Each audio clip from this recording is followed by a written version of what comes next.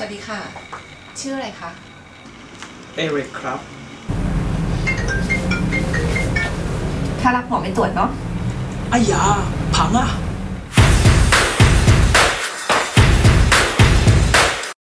อาการดีขึ้นบ้างไหมคะ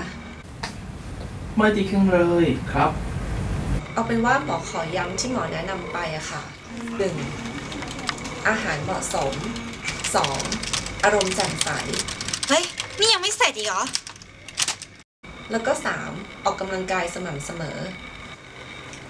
ถ้าทำไม่ได้ครับ ทำเถอะ คุณทำได้หมอเชื่อ